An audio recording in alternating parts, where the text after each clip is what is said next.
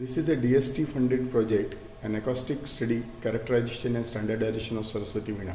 We received a grant of 37 lakh rupees from uh, DST to study the uh, acoustic characterization, characteristic of uh, Saraswati Veena and its standardization. The veena is kind of a raw instrument.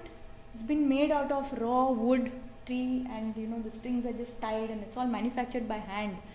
But the unique timbre of this instrument, though it has a scientific origin, has not been studied. The first person to point this out was uh, Sir C.V. Raman in his uh, 1924 paper. And uh, he has said that the sound of Indian instruments, especially veena and tanpura, is unique because of the shape of the bridge. So while he just said that, he has not uh, pursued that matter further. And really, acoustic studies of the veena have not been performed.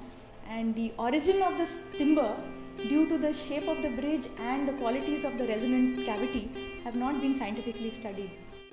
The musical quality of this veena can be studied through engineering aspects.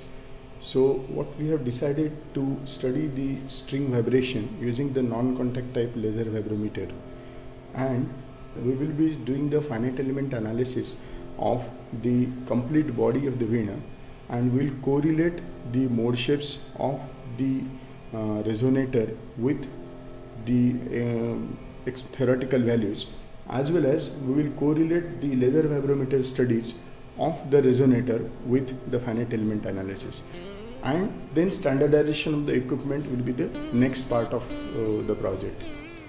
The sound radiation pattern of this instrument will be studied through the sound map studies by uh, creating a grid of microphones around the instrument and then playing the instrument and capturing the sound around the instrument in a scientific manner.